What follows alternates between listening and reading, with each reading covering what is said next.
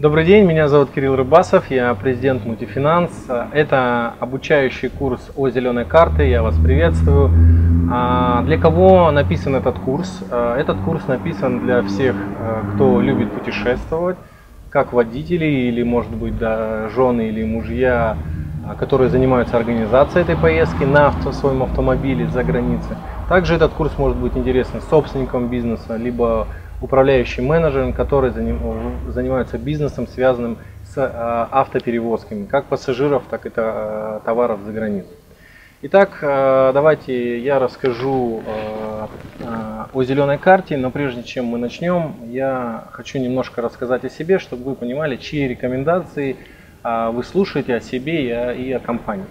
А, меня еще раз э, скажу, что меня зовут Кирилл Рыбасов, я президент мультифинанс компании с оборотом более 1 миллиона евро. А, наш офис находится в Петербурге, э, но в основном мы занимаемся доставкой полисов.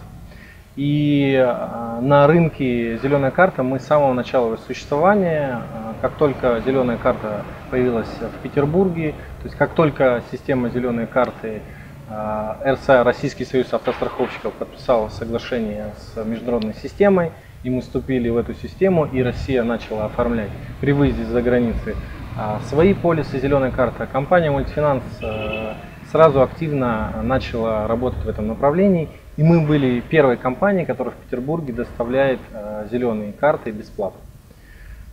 И вообще доставляли зеленые карты.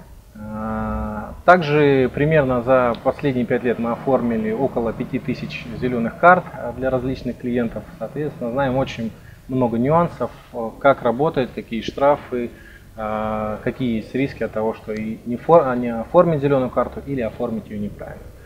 А также нужно обратить внимание, почему важно слушать э, именно финансовых экспертов, таких как э, эксперты компании Мультифинанс, а не страховые компании.